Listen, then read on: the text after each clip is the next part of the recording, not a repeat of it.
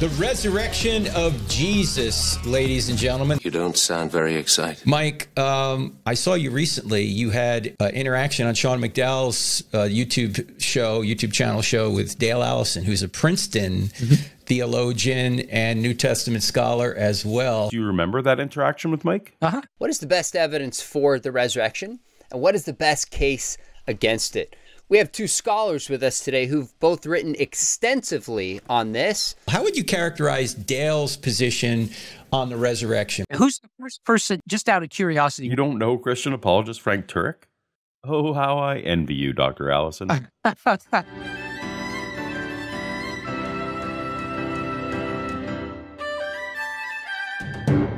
Welcome to Paulogia, where a former Christian takes a look at the claims of Christians Though today I am thrilled to say that we have a current Christian with us to look at the claims of Christians. Dr. Dale Allison. Happy to be here today. We also have this New Testament scholar, Dale Allison, who's written a book also called The Resurrection of Jesus, that I would consider one of the best uh, supports and at times criticisms of the historical case for the resurrection. And Dale's a great guy. He's uh, He's one of the most honest scholars I know. I mean, my scholarship will ever be just a fraction of what his is. He is he is mm. that good. Mm. He hmm. is really and he has a good a new book that's like a year old on the issue, right? Indeed, the resurrection of Jesus: Apologetics, Polemics, History is, in my opinion, the most balanced, best researched book on the resurrection that exists. I can't recommend it highly enough, despite our disagreement about whether the resurrection happened. Link in the description. Longtime viewers of the channel may recall that my use of Dr. Allison's scholarship kicked off my longtime dispute and debate with another scholar. Paulogia cited Allison's objection. I've also just taken Dale's brand new course, The Quest for Historical Jesus, which deals specifically with how historians can sort fact from fiction when it comes to claims about Jesus. And they realize there aren't any references to this text at all until maybe the 10th century. I had to pause it several times just to allow my brain some space to adjust to all the new information being poured in. You can get this Princeton level lecture series for the price of a book at tinyurl.com slash Dale Jesus Quest. But we'll talk about that more later. What we're here for is to get Dr. Allison's insights on the thing he's undeniably the world's foremost expert on the opinions of Dr. Dale Allison. Dr. Licona, I think rather unfortunately, referred to Dr. Allison as a fellow believer. What do scholars who might not even be Christians say about the evidence? By the traditional creedal definition of Christianity, uh, Dr. Allison is not, in fact, a Christian. So, for the record, do you consider yourself a Christian? Yes, I do. And I deeply resent people who make such judgments without knowing me personally. I think it's unconscionable. I agree. How would you characterize Dale's position on the resurrection? What does he think actually happened uh, to Jesus's body? I think he thinks Jesus' body returned to life. Mm-hmm. I might misunderstand Dale into some, but I think he thinks Jesus returned to life, that uh, resurrection is an interpretation of mm-hmm. what happened, mm-hmm. um, but that Jesus rose from the dead, and there was probably perhaps to probably an empty tomb. Yeah, I'm happy to say, I'm happy to say that I believe in the resurrection.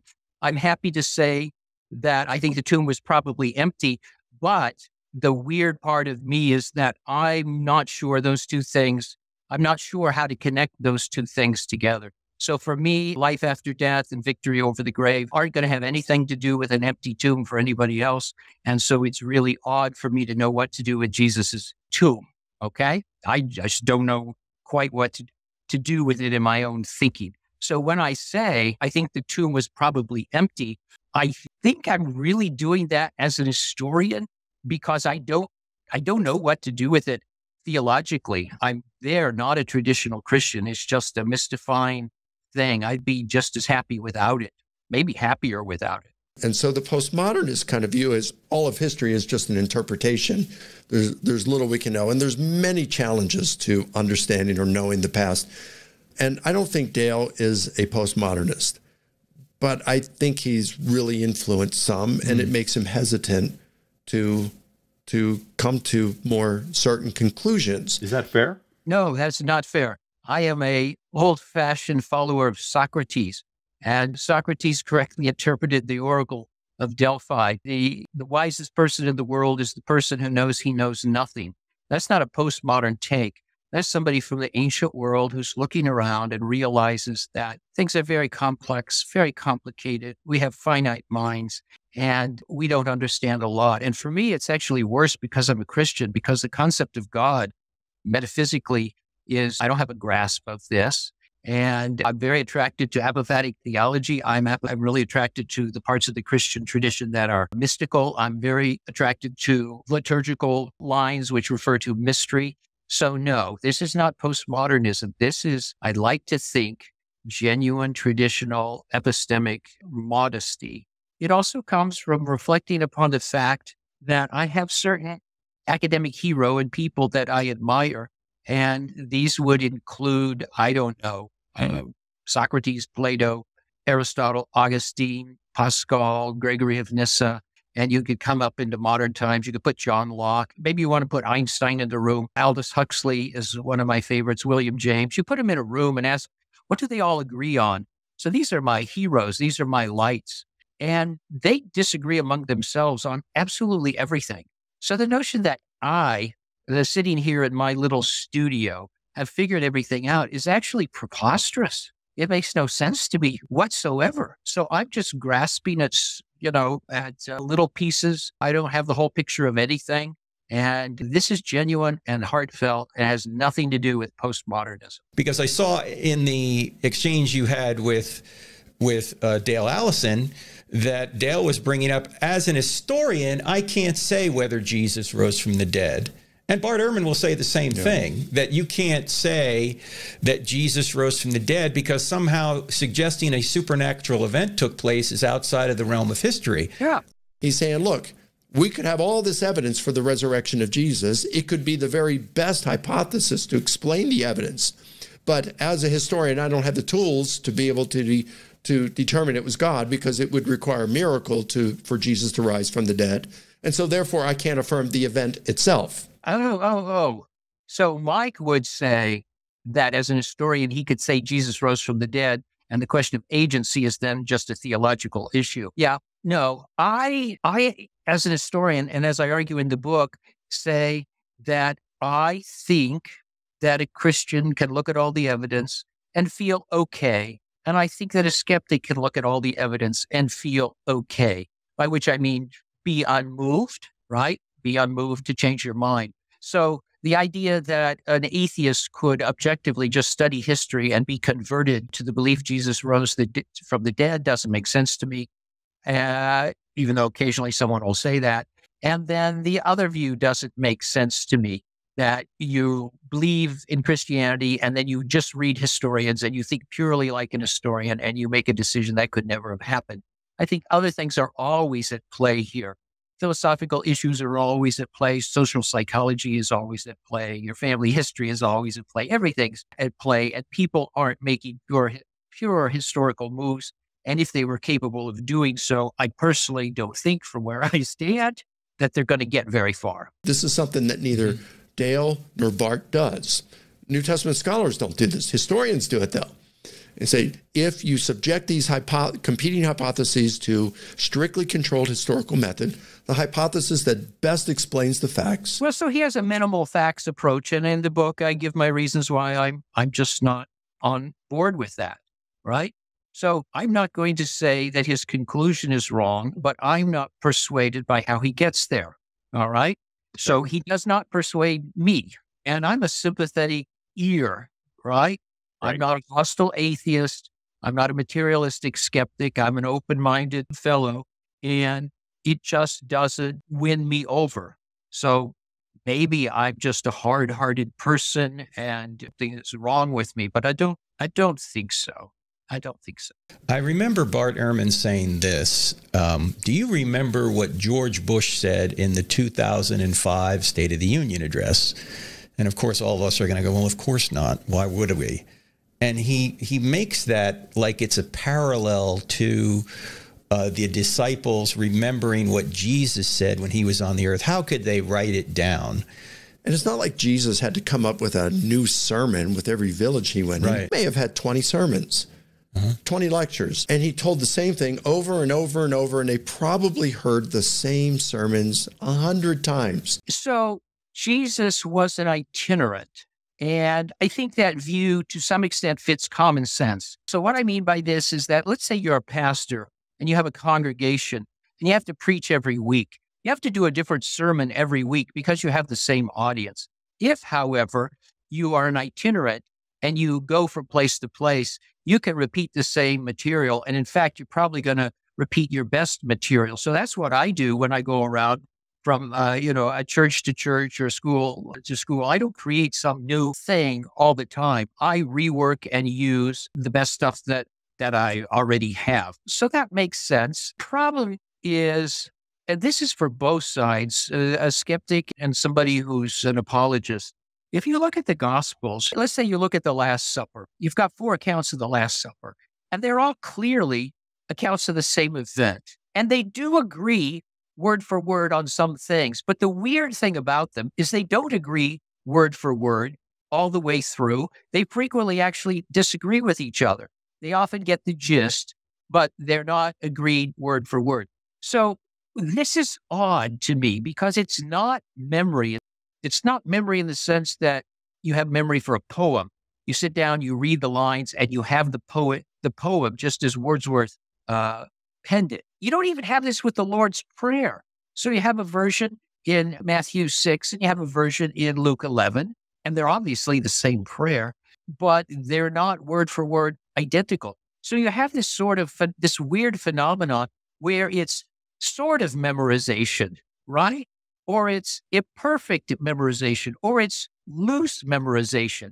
It's often more than the gist, but given that there are so many variations, I I I always am arguing about the gist or the general sense behind something. I'm never going to put much faith in the exact wording of whatever it is, especially because whatever it is is in Greek and Jesus probably spoke in Aramaic, right? So right.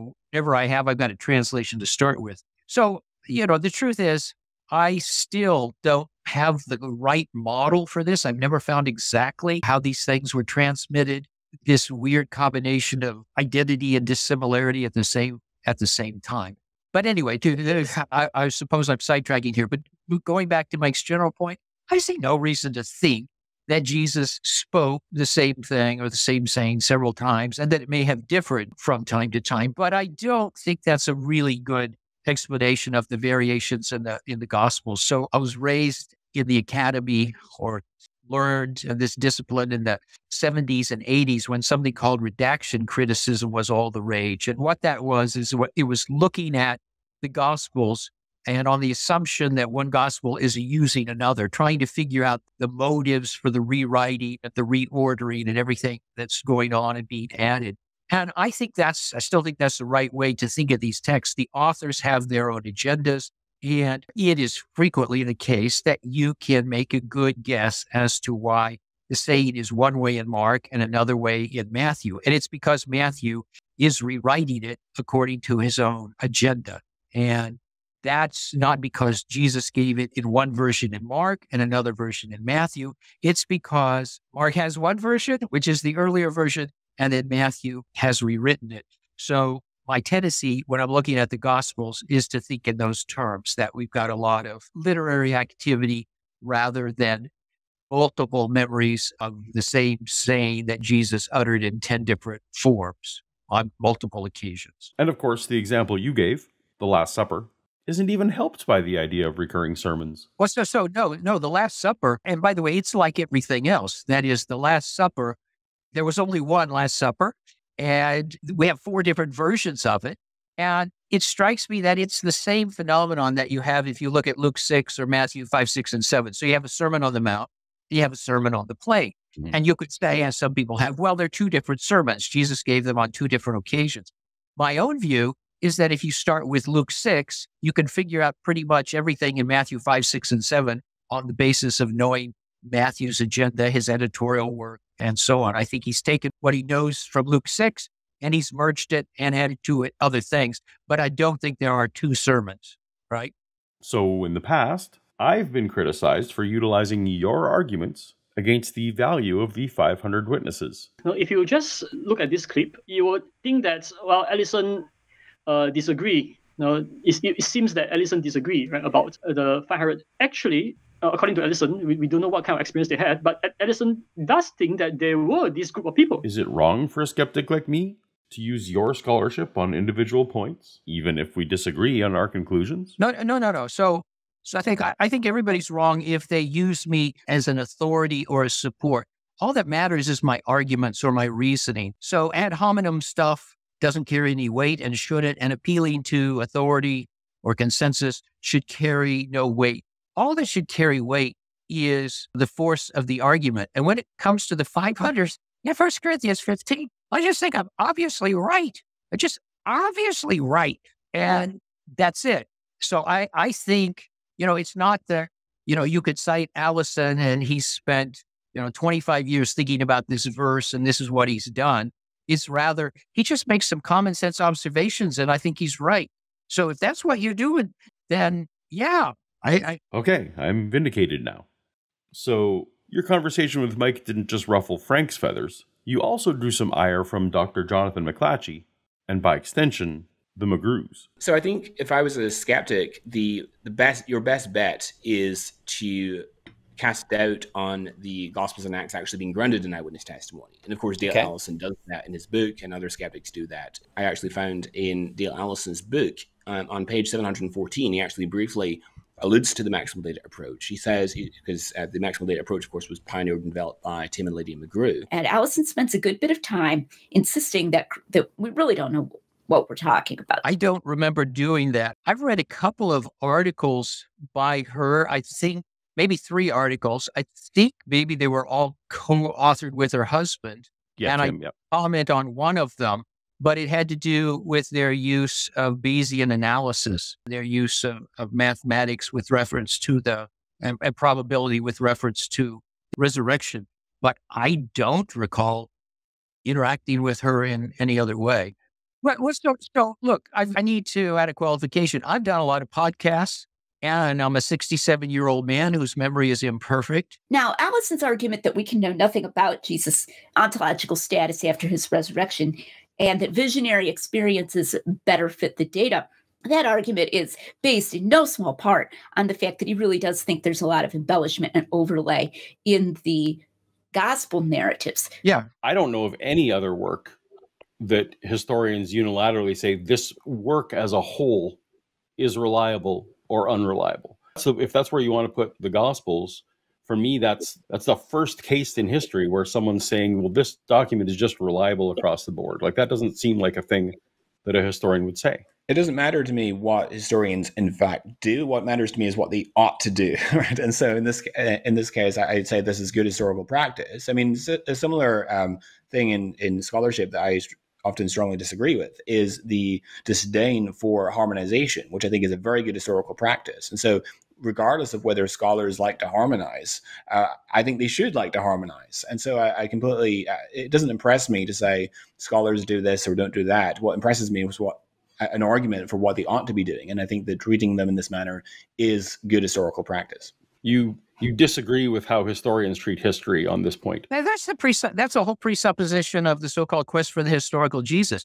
So eh, once you assume that Jesus existed and that the sources have a few things to say about him, and you don't think that they are inerrant or infallible, and you're not a harmonizer who you know can put everything together, then you have to ask the historical question. And for me, there there are just obvious things. So you have to choose at points between the Gospel of John, I think, and the, the Synoptics, and sometimes you have to choose between the Synoptics or different versions of, of a particular event or saying.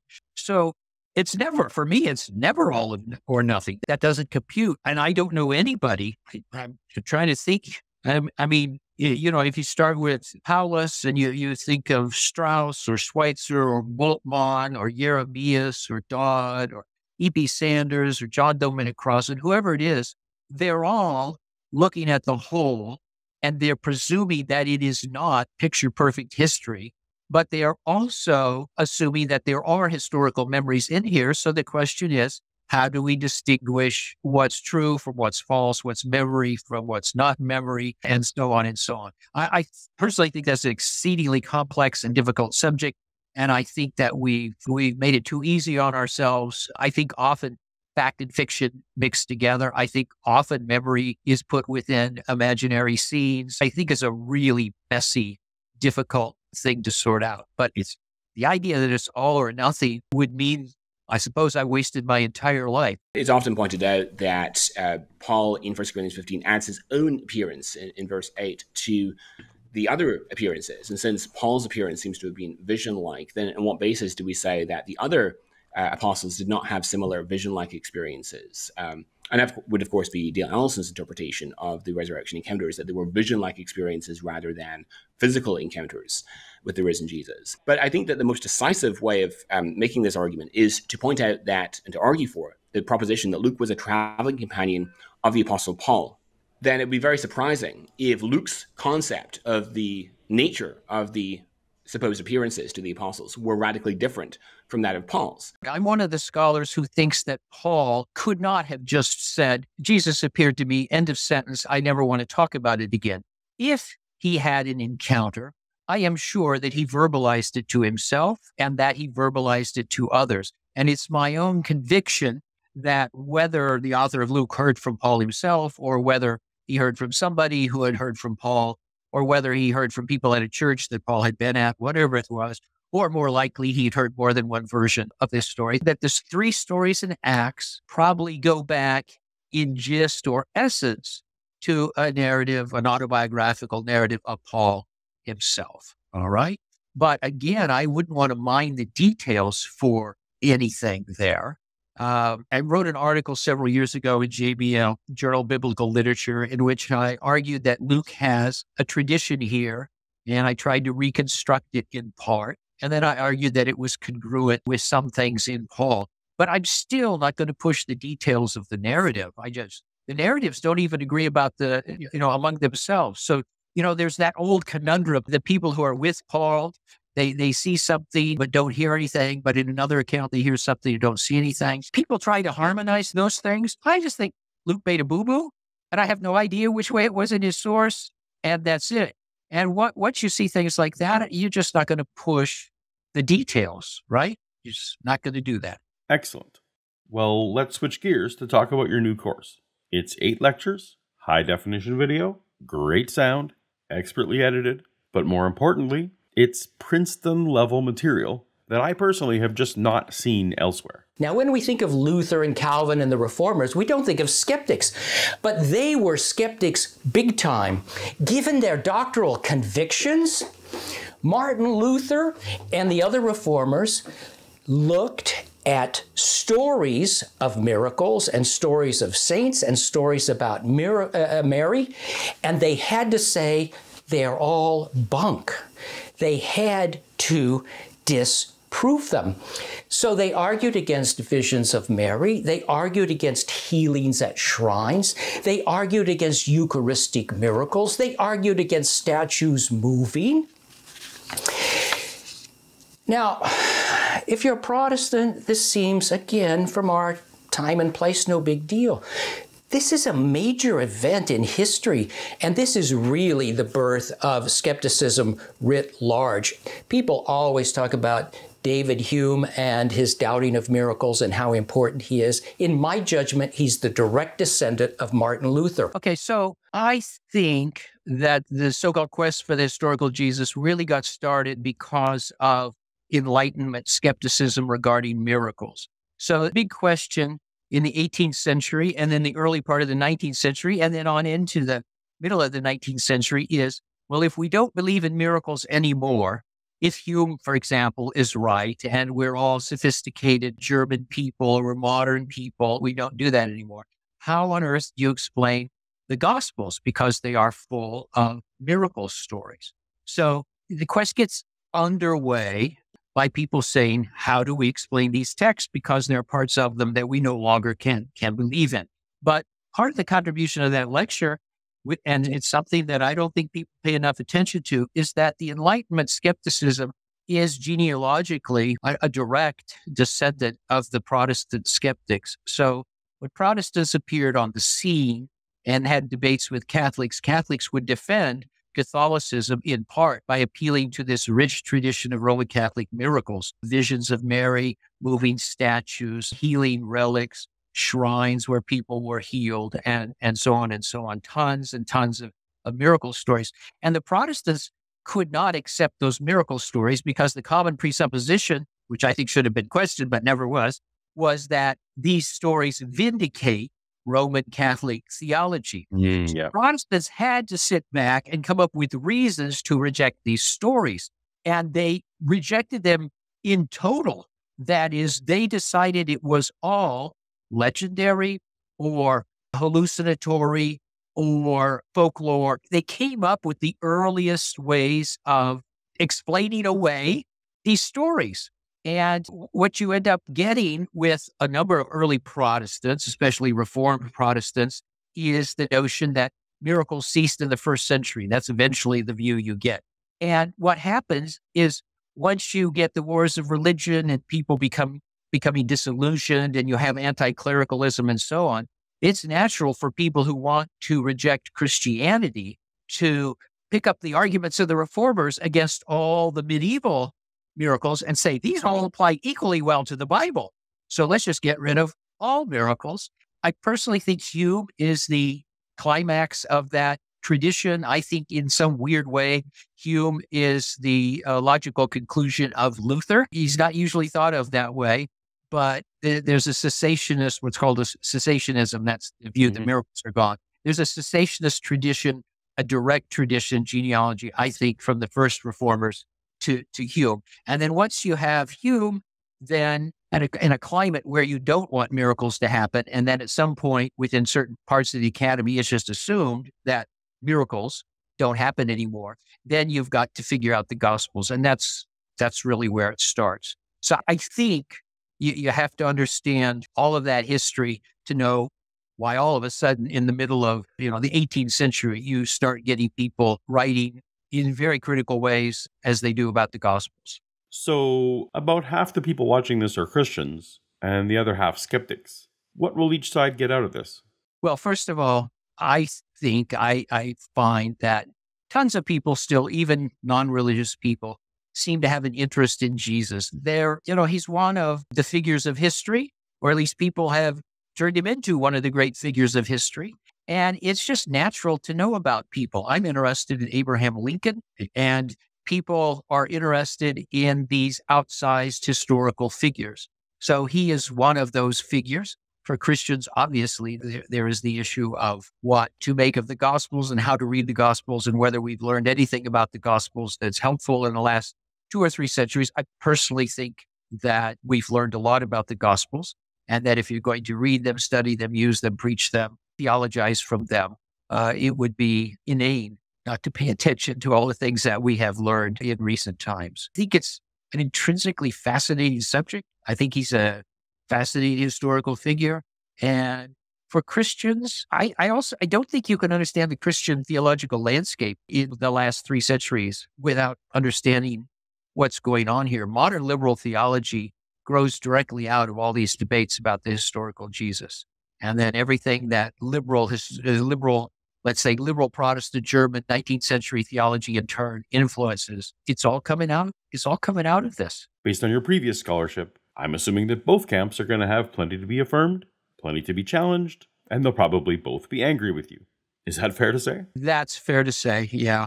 I'm always in the middle, all alone. but I got used I got used to it. My wife loves me. I do as well. At least your scholarship and I know my viewers will get so much out of this course. Available now at tinyurl.com slash DaleJesusQuest. And if you use that link, you'll be supporting this channel. So thank you very much for that. Dr. Allison, thank you so much for your time. Anytime. Uh, thanks. This was fun. For more investigation into Jesus' resurrection and the claims of Christians, tap on the thumbnail on screen now, and I'll see you over there. Take care. Bye bye. Later.